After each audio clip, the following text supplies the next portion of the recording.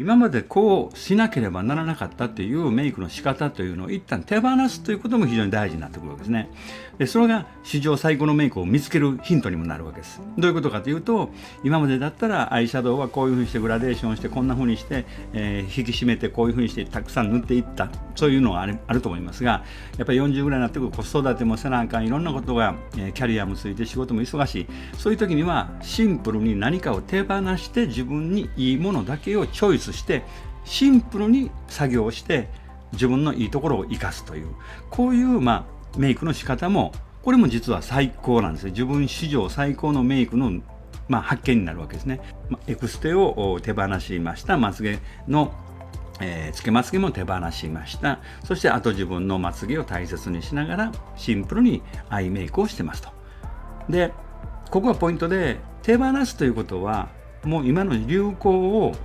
手放すっていう意味じゃないんですね。これはですね、まあ僕もよく言うんですけど、あの大体1年間に2回、まあまあまあ一番いいのは4回ぐらいは、やっぱりあのメーカーもですね、新しい色物、トレンドなんかをどんどんどんどん、えー、発売しますから、あの僕よくプチプラコスメに、えー、よく行ったらどうですかってみんなに言ったことあるんですね。百貨店のコスメもいいんですけど、結構あの高いですよね。全体的に高い。そうするとそれと敷居が高くてそのあの BA さんにですねコメントなんかをこう、え、相談するのがちょっと敷居が高いね。そこ座れないというそういう方もいらっしゃる。なそれだったらプチプラコスメに、えー、コーナーに行っていろんなコスメをですね、えー、旬なコスメを見るわけですそうするとあこの色が流行ってるなとかこのテクスチャーがなんか流行ってるなっていうのが傾向値が見えますよねその流行ってる色を一色ま、このアイメイクに一色取り入れるだけで旬な顔ができるというねそういうことなんですよね。で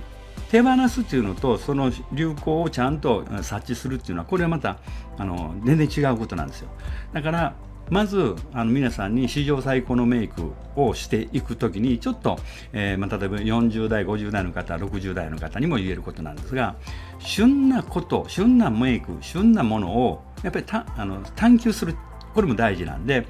アイメイクのアイカラーとそれからリップね。リップの色。で大人の女性は赤というものをしっかりと選んでください。赤のリップの色を旬なリップの色をつけるだけでもう急にですね垢抜けた顔になります。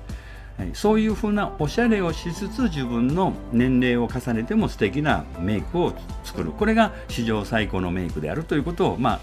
今もちょっとこう簡単に言いましたけどね。えー、そういうのはたくさんあの本当はあるんです。僕は常に毎回言ってますけども神様は細部に宿ると言います。顔だけじゃなくってこの手のこの手の甲とかこういうところね手のこの指先ねえ、特にこの手なんかは自分の顔を見るよりか手一番見てますから手とかもしくは足ねえー、靴下履く時には自分で自分の目で自分の足を見たりしますよね。人には見られないところだけども自分が一番よく分かってる、まあ、そういうちょっとした見えないところをしっかりとあのケアをする。これが実はその内面を磨いていくから顔にも出てくる。顔にもそういう表現ができるようになってくる。これが素敵な女性のオーラっていうねことになります。だからメイクのテクニックだけでくら上手なメイクがしたところでこのこの方素敵やなとかねこの方のオーラいいなっていうのはねその技術だけではないんですね、まあ、もちろん技術も大事ですけどもね。そういう心意気であるとか日頃の自分の、えー、自分に対する細部までこだわったケアをいかにしているか慈しんで自分を大切にしてるかそれが顔に現れますよというところをねしっかりとえー、覚えておいていただけたらと思います。